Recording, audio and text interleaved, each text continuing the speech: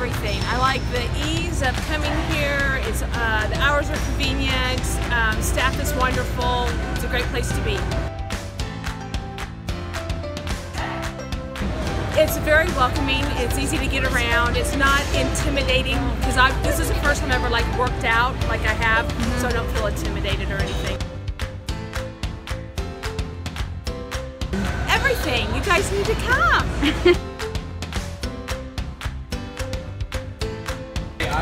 Self-esteem has gotten a lot better. Awesome. Um, I've toned up. I feel 100% better about myself.